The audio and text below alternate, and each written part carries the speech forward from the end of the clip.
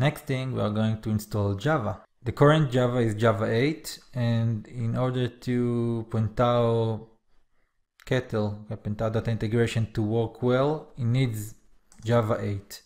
So I will just go and uh, search it for in the internet. It will be something like Oracle JRE 8. Okay, you see here downloads, I will click it.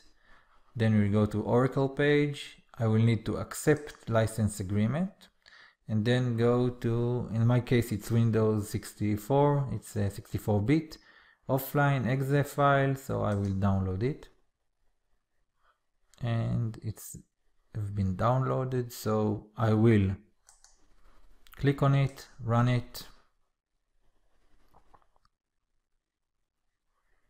I will install it, of course.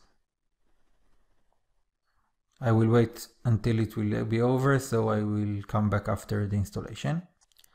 So it uh, down, downloads and now I will click again on the spoon and try to see that it's working. Uh, I will run it. As you see, we don't have the uh, error anymore and now we have successfully opened Pentaho data integration. Okay, so you see what we are in, we have spoon welcome. I will explain of course everything about this screen and what are the options, but for now we see that it's already, it's working and that's what we wanted. So I will close it. Now sometimes it will not be so easy and we will start the spoon and you will get another error about the, the Java.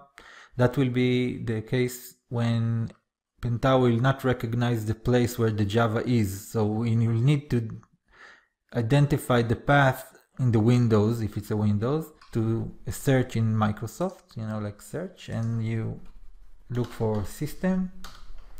As you see here, system, click on it.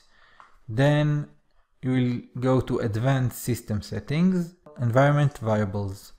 Here you see that if I go to path here you see the path and you see that it already has the C program data Oracle Java Java path.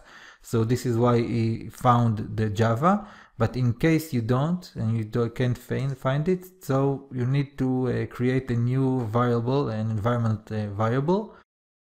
The first thing you need to see where it uh, installed it. So I'll go to C program files and I see here the Java and it's JRE 1.8 so I will take this uh, uh, path and then I go here and I will create java home java underscore home.